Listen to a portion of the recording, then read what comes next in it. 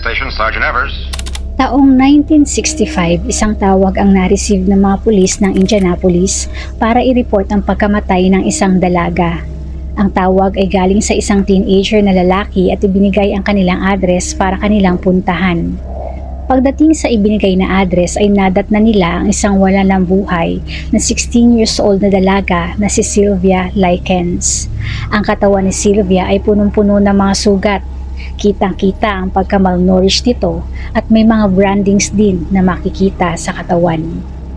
Sa salaysay na nakatatanda sa bahay na si Mrs. Gertrude Wright na nagpakilala bilang caregiver ni Sylvia, si Sylvia daw ay isang sakit sa ulo sa kanila Madalas daw na ito ay umaalis ng bahay para makipagkita sa kung kani-kaninong lalaki at pumupunta sa mga wild sex parties. Nang nakaraang gabi nga daw ay umalis uli ito ng bahay at sumama na naman sa mga kalalakihan. Maari na dinala daw ng mga ito si Sylvia kung saan pinagsamantalahan, binugbog at pinahirapan at ibinalik ang lupaypay na nitong katawan pabalik sa kanilang kabahayan. Nang araw na yon, nakita daw niya si Sylvia sa labas ng bahay na talaga nga namang bugbog sarado. Dinala niya daw ito sa kwarto at sinubukang gamutin ang mga sugat nito, ngunit kalaunan ay binawian din ng buhay. Isang letter ang iniabot ni Mrs. Gertrude sa kapulisan na hawak-hawak daw ni Sylvia nang kanya ito matagpuan. Ang letter na ito ay para sa mga magulang ni Sylvia. Nang basahin ng pulis ang letra, ang nilalaman nito ay tumutugma sa kung ano ang sinabi ni Mrs. Gertrude. Nakalahad sa sulat ang nangyari sa kanya ng gabing yon, maging ang kanyang pagiging troublemaker sa kanyang caregiver. Ang lahat ng tao sa kabahayan ay in-interview din ng pulis kasama na mismo ang kapatid ni Sylvia na si Jenny Likens kung saan lahat ng detalye na kanilang sinabi ay tumutugma sa kung ano ang isinalaysay ni Mrs. Gertrude. Isang doktor din ang dumating para mas lalong masuri ang katawan at talaga nga namang kahindik-hindik ang sinapit ng katawan ng dalaga Matapos ang pagsusuri ay nagsimula nang umalis ang pulis at ang doktor para dalhin na ang labi. Sa kanilang pag-alis, si Jenny ay biglang hinatak ang damit ng pulis at dito ay may ibinulong. Ilayo mo ako dito at sasabihin ko ang lahat sa inyo. Tara at ating buksan ang pahina ng krimen ng The Sylvia Likens Torture murder case. Kamusta sa inyong lahat? Bago natin simulan ang ating kwento, kung bago ka pa lang po sa channel, please hit the subscribe button at pakipindot na din po ang notification bell para maging updated ka sa susunod nating kwento.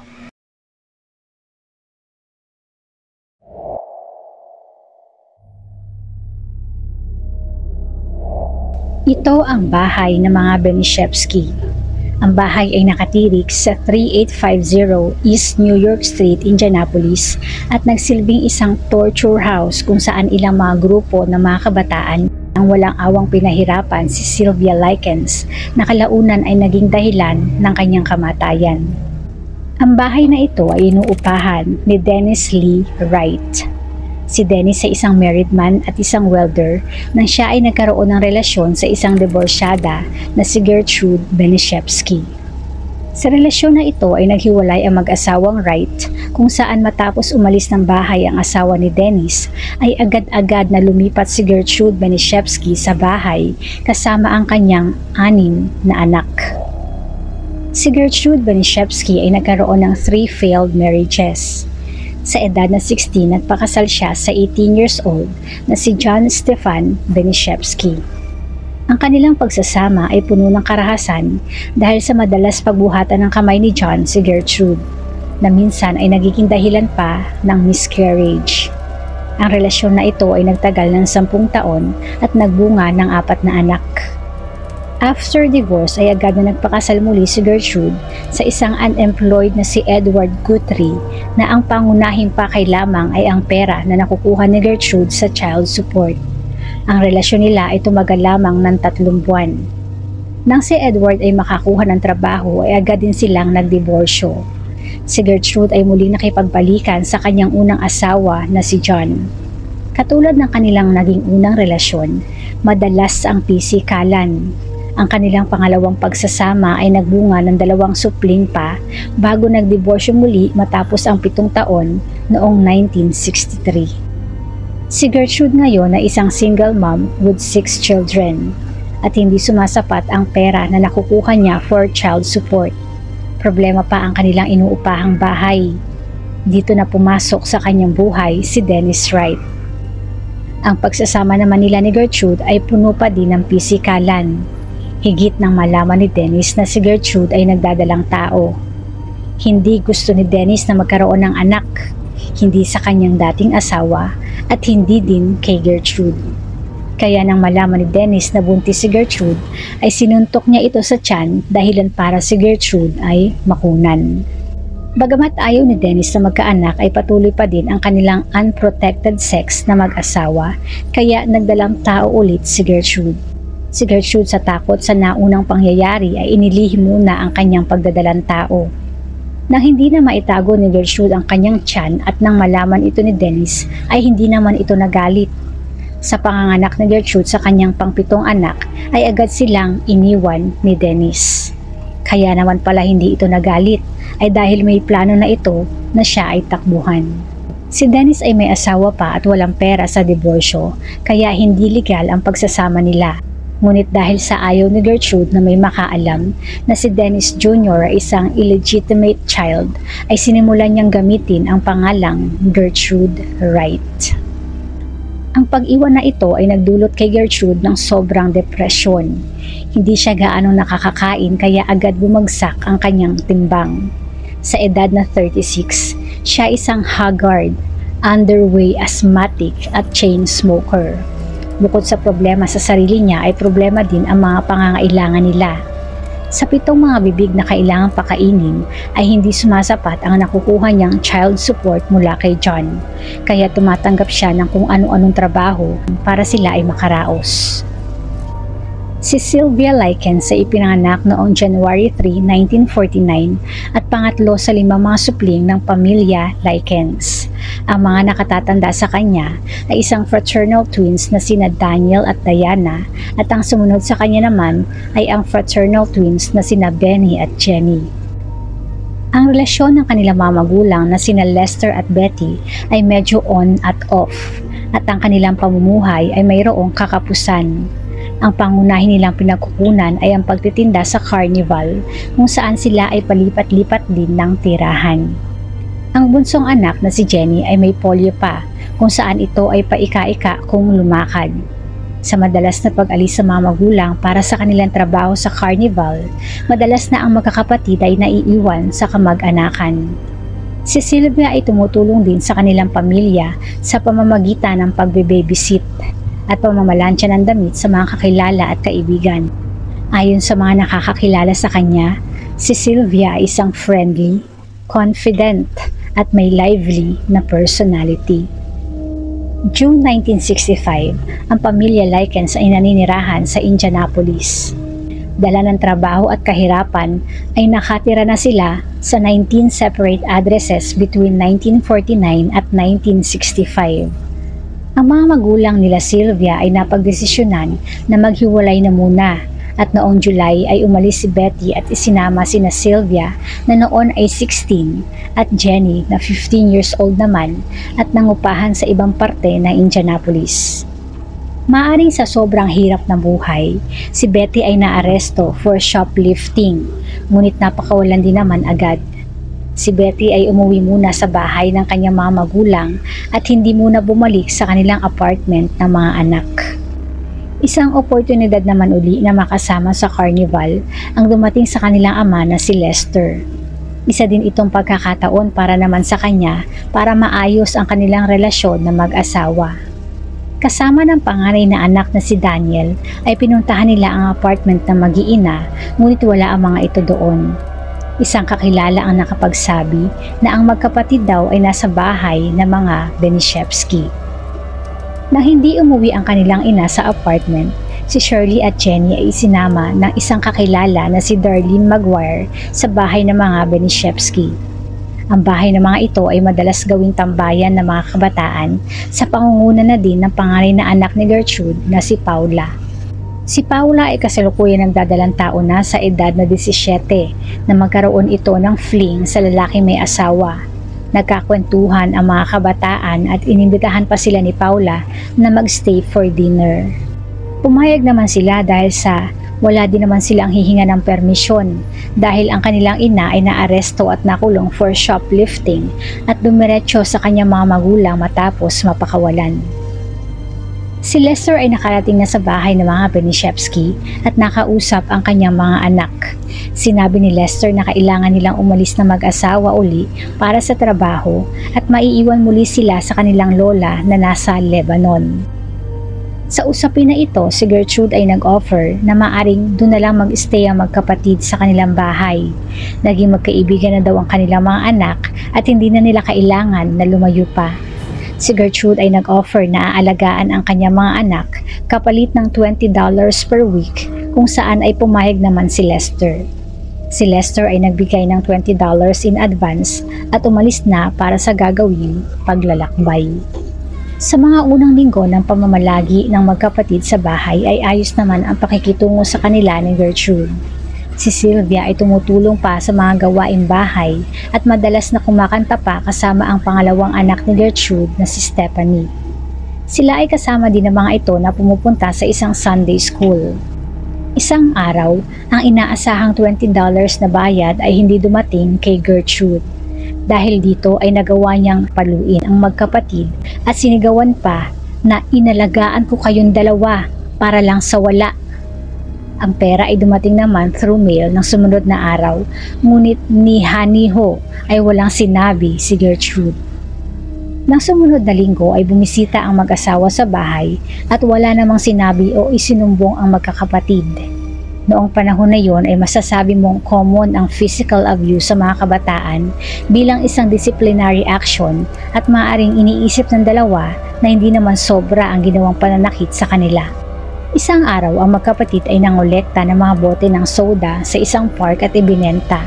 Ang pinagbentahan ay binili naman nila ng candies na isinare nila sa mga kasama nila sa bahay ng Benishevsky. Nang malaman ni Gertrude ang tungkol dito ay inakusahan niya ang dalawa na ninakaw ito kung saan niya hinatak ang dalawa sa isang kwarto para paluin. Gamit ang isang kahoy na pamalo ay ipinalo niya ang dalawa sa pawitan sa likod at minsan ay sa mismong ulunan. Si Gertrude ay may asthma at bronchitis at dahil sa pamamalo na ito ay medyo nakaramdam siya ng panghihina kaya ang ginagawang pananakit ay ipinasa niya kay Paula. Dito na magsisimula ang kanilang walang pakundangan na pananakit sa magkapatid. Nakalaunan ay ang magiging focus ay si Sylvia. Ang malimit na dahilan ng mga pananakit na ito ay para daw sa pagdidisiplina at mga maling ginawa daw ni Sylvia. Nakadalasan ay dahil sa pangaakusa nila kay Sylvia. May itinawag daw si Sylvia kay Gertrude na hindi ka nais-nais sa pandinig. Si Sylvia ay hinagupit. Nagnakaw daw si Sylvia ng $10 kay Gertrude. Si Sylvia ay muling hinagupit. Wala mga katibayan sa kanilang mga sinasabi tungkol sa sinabi o ginawa daw ni Sylvia, ngunit ang mismong pag-aakusa pa lamang ay sapat na sapat na para si Sylvia ay bigyan ng parusa. In one occasion sa pananakit na ito ay nabali ang wrist ni Paula. Napansin ito sa church na pinupuntahan nila at nang tanungin si Paula kung bakit, ay proud pa nitong sinabi na ito ay dahil sa kanyang panununtok sa mukha ni Sylvia. Dahil sa dami ng mga bibig na kailangang pakainin sa bahay, hindi sumasapat ang nakalagay sa hapagkainan. Dahil dito ay madalas na walang nakakain ang magkapatid. Sila ay umaasa lamang sa kung anumang tira-tirang pagkain ang maiiwan. Madalas na sila ay gutom kung kaya nang minsan na sila ay umattend ng church dinner, napadami ang kanilang kain. Ang ginawang pagkain na ito ay sapat na dahilan na naman para sila ay parusahan. Kung sila ay napaparusahan ng dahil sa pagkain, sa ibang pagkakataon ang pagkain ang mismong paraan bilang isang kaparusahan. Si Gertrude at Paula kasama ang isang kapitbahay na si Randy Lepper ay naisipan na pakainin si Sylvia ng hotdogs. Ang hotdogs na ito ay pinuno nila ng mga condiments at spices at sapilitang ipinakain kay Sylvia. Pinilit nilang ipasok ang pagkain sa bibig ni Sylvia at dahil sa pagpipilit na ito, si Sylvia ay agad itong naisuka. Hindi naman papayag syempre si Gertrude na masayang ang pagkain, kaya ito ay pinilit niya pa din na ipakain. Sa mga magkakapatid na Benishevsky, si Stephanie na pangalawang anak ang ilan sa mga tao na may malasakit kay Sylvia. Si Sylvia at Stephanie ay parehong pumapasok sa Arsenal Technical School sa Indianapolis at may student jobs din sa isang cafeteria kung saan sila ay may free lunch ang tanging pagkain na nakapagpapatawid ng gutom kay Sylvia. Sa abuso na nararanasan, si Sylvia ay nagpasimula ng isang chismis sa school na ang mga Benishevsky girls daw ay sumasama sa mga lalaki for money. Nalaman ni Stephanie ang pinagmula ng chismis at galit na galit na pinuntahan si Sylvia at sinuntok ito sa mukha. Agad din naman natauhan si Stephanie at humingi ng tawad kay Sylvia. Si Sylvia ay umamin din naman sa kanyang maling ginawa at silang dalawa ay nagkapatawaran. Ngunit iba ang kaso na ito sa boyfriend Stephanie na si Coy Hubbard. Pinuntahan nito si Sylvia at walang awang binugbog.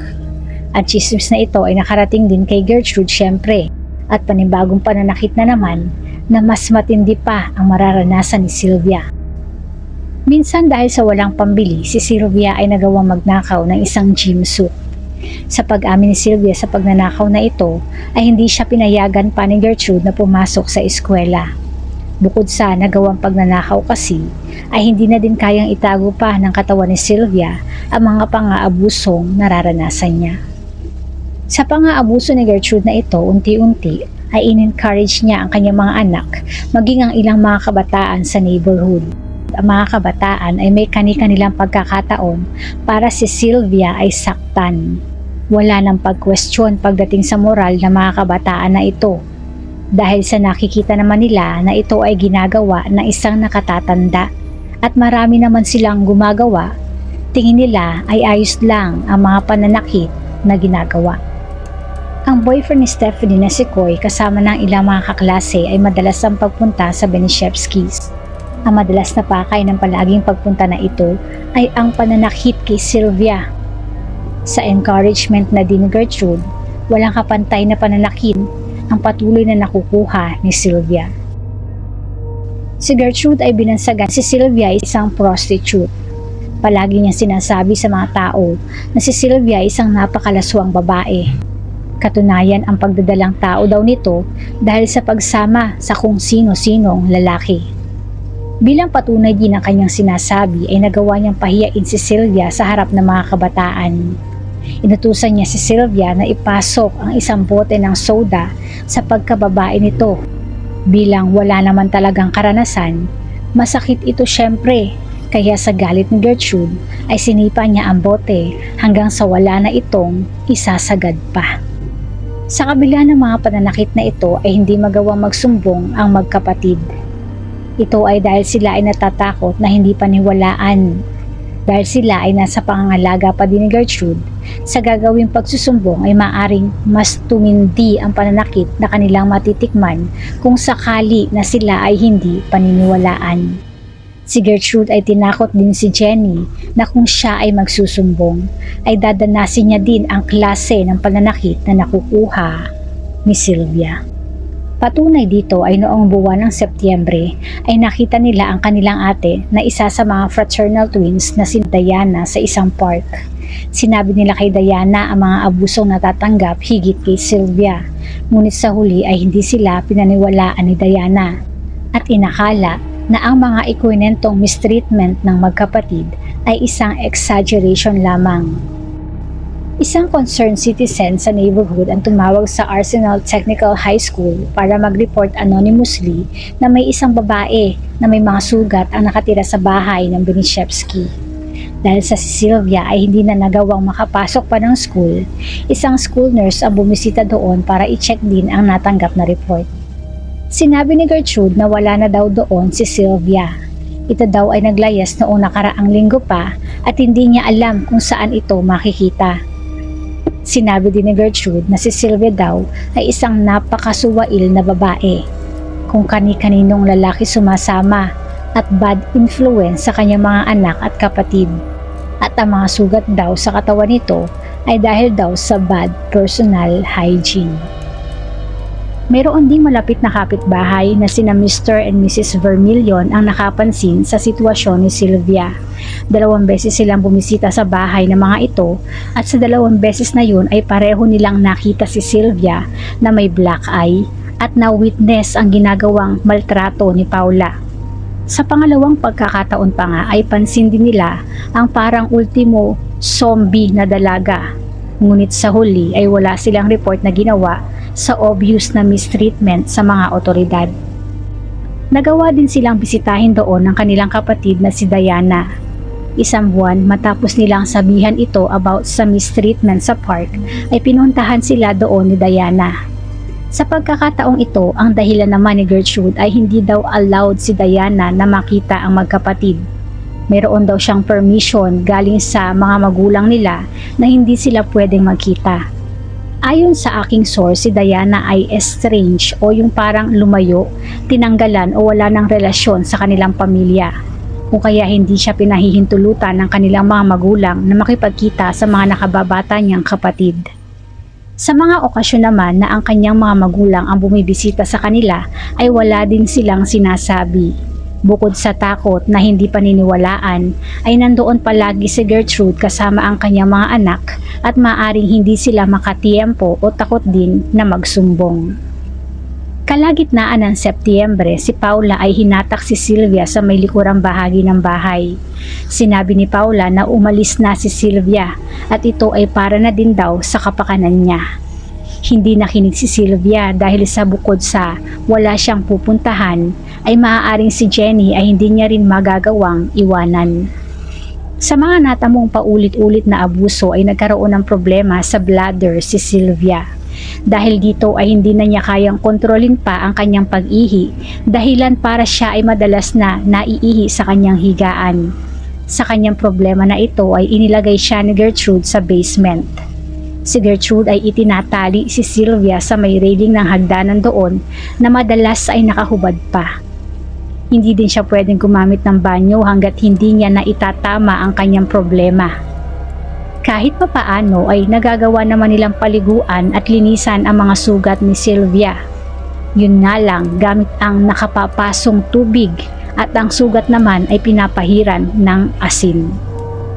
Occasionally, ang mga kabataan sa neighborhood ay pumupunta dito para sa kanilang parte ng pagpapahirap kay Sylvia. Sa halagang 5 cents kada isa, maaari nilang makita ang hubad na katawan ni Sylvia at muli ay para saktan. Sila ay nag enjoy na itulak si Sylvia sa hagdanan para paakyatin muli at saka itutulak na naman. Isa sa pinakabrutal na pagkakataon na ginawa nila kay Sylvia ay ang paglalagay dito ng branding. October 23, sa kusina ng bahay, ilang mga salita ang itinatak ni Gertrude sa may tiya ni Sylvia. Si Gertrude ay sinimulang iukit ang mga salita na ito sa pamamagitan ng mainit na karayom. Sa kalagitnaan ng pag-uukit ay napagod si Gertrude at inutusan ang 14 years old na kapitbahay na lagi ding nakatambay doon sa bahay na si Richard Hubbs. Matapos ang branding, si Richard kasama ang 10 years old na panglimang anak ni Gertrude na si Shirley ay dinala uli si Sylvia sa basement kung saan nila sinubukan na pasuin naman si Sylvia sa may dibdib gamit ang isang crowbar para iukit ang letrang S. Sa ginawang pagpaso ay nagkamali sila ng lagay at sa halip ay ang number 3 ang nagawa nila. Sa mga walang kapantay na ginawa nila kay Sylvia, maaaring may hinuha na si Gertrude na anytime soon ay hindi na nito makakayanan ang lahat. Si Sylvia ay wasak na wasak na ang katawan, buto-buto na at manhid na ang pakiramdam. Kinabukasan, October 24, ginising niya si Sylvia para sa pilitang magpagawa ng isang letter para sa kanyang mga magulang. Ang nilalaman ng letter ay para sabihin na sumama daw siya sa grupo ng mga kalalakihan for sex kung saan siya binugbog ng mga ito at nilagyan pa ng branding sa katawan. Ang balak ni Gertrude matapos magawa ang letter ay iwanan si Sylvia sa isang gubat para mamatay. Ang plano na ito ay narinig ni Sylvia kaya kinabukasan, October 25, sinubukan niyang tumakas. Ngunit dahil sa dami ng kanyang mga sugat at panghihina na din ay hindi niya ito nagawa. Kinabukasan ng umaga, October 26, kitang-kita na ang pagiging manhid ng katawan ni Sylvia. Hindi na magtatagal at maaaring bawian na ito ng buhay. Si Gertrude ay nutusan ang kanyang mga anak na linisan si Sylvia kung saan si John Jr. ay patawa-tawa pang sinasabuyan ng tubig si Sylvia gamit ang garden hose. Si Stephanie ay dumating ng bahay at nang makita ang ginagawa ni John Jr. ay pinigilan niya ito. Katulong si Richard, si Stephanie ay binigyan si Sylvia ng warm bath. Binihisa ng bagong damit at inhiga sa kama. Matapos maihiga, si Sylvia ay tumingin kay Stephanie at binigkas and I quote, Stephanie, iuwi mo na ako. Matapos itong sabihin, si Sylvia ay nalagutan na ng hininga. Agad nila itong ginawa ng mouth-to-mouth resuscitation, ngunit wala na. Si Sylvia ay namayapa na. Ang ilang buwan na walang kapantay na pang-aabuso sa kanya ay natuldukan na. Get me out of here and I'll tell you everything.